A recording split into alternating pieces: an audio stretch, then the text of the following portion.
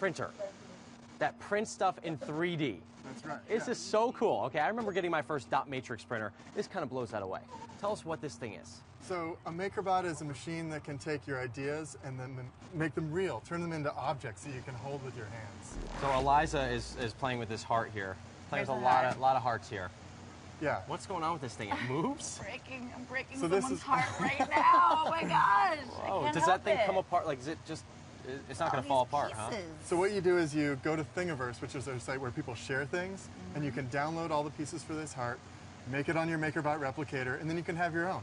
And then So- you can make more to give away to all your, all your So friends. people program in designs that you can actually print on this thing. That's right. How So does you- it work? How- What's it? I mean, there's some sort of like plastic it's feeding in from the back, and then it's just it's furiously working over there. So you take your digital design, put it on the SD card, slide it in there, and press go, and it leaps leaps into action, and then starts drawing, and draws a picture in plastic, and lifts up a little bit and draws another one. And layer by layer, it makes your the object of your design. Can I fit my golden retriever in there? I want a max. That'll be cool. Let's You wanna make a- another retriever. one? Can you make a bigger size so I can get my dog in there? Eventually, we're going to make you know one that can print houses, and then we'll put it on the moon And and, make the moon base. You Just know, but 3D starting print small. each other. 3D print each other. Uh, I like this. You made the little spike logo here. That's cool. How long does it take to make something? So it depends on the size. So something like this will probably take hour and a half, two hours. Something like this is probably like a four-hour print.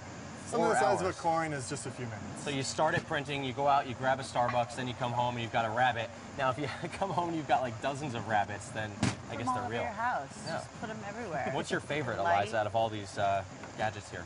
I, I kind of dig the heart. I like this little rabbit though. Okay, finally, They're Bre. They're very like. How much? Philippe Starck.